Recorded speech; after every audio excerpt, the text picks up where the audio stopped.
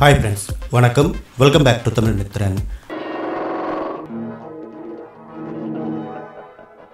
டேய் பொடியினங்களா ஞாபகம் வச்சுக்க. நான் தான்டா இன்ஸ்பெக்டர் அசோக்.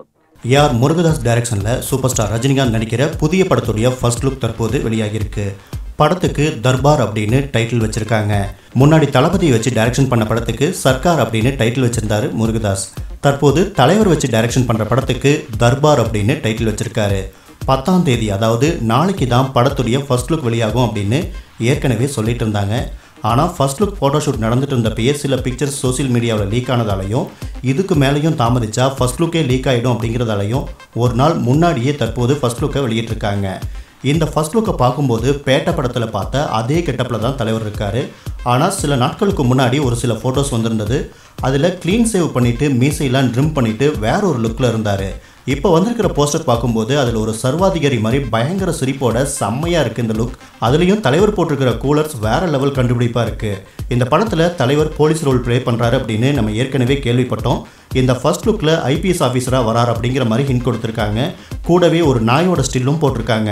ஸோ காலா மாதிரியே இந்த படத்துலையும் தலைவர் கூட ஒரு டாக் வரும் போல இருக்குது அடுத்து படம் ரெண்டாயிரத்தி இருபது பொங்கலை முன்னிட்டு வெளியாகும் அப்படின்னும் அறிவிச்சிருக்காங்க. படத்துக்கு சந்தோஷ் சிவன் சினிமோட்டோகிராஃபி பண்ணுறாரு ஸ்ரீகர் பிரசாத் எடிட்டிங் பண்ணுறாரு அனிருத் மியூசிக் பண்ணுறாரு சர்க்கார் படத்துக்கு ஸ்டன்ட் கொரியோகிராஃப் பண்ண ராம் லக்ஷ்மன் இந்த படத்துக்கும் ஸ்டன்ட் பண்ணுறாங்க இந்த படத்தில் தலைவருக்கு ஜோடியாக லேடி சூப்பர் ஸ்டார் நயன்தாரா நடிக்கிருக்காங்க முருகதாஸ் டைரக்ஷன் அப்படிங்கிறதால ஏதாவது ஒரு மெசேஜ் புதுசாக இருக்கும் ஏதாவது ஒரு சோசியல் அவேர்னஸும் இருக்கும். அது மட்டும் இல்லாமல் இது ஏஆர் முருகதாஸுடைய நீண்ட நாள் கனவும் பல வருட முயற்சிக்கு கிடைச்ச பலனாகவும் இந்த படம் அமைஞ்சிருக்கு. படத்துடைய ஃபர்ஸ்ட் ஸ்கெடியூல் மும்பையில் நடக்க இருக்கிறதா நம்ம ஏற்கனவே பார்த்துருந்தோம். கடைசியாக துப்பாக்கி படத்தை மும்பையில் தான் முருகதாஸ் எடுத்திருந்தாரு.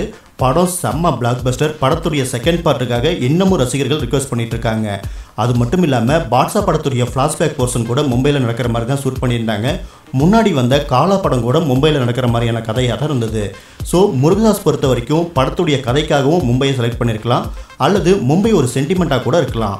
ஸோ தலைவருடைய தர்பார் ஆரம்பமாயிருச்சு. அடுத்த பொங்கலுக்கு செம்ம கச்சேரி காத்திருக்கு.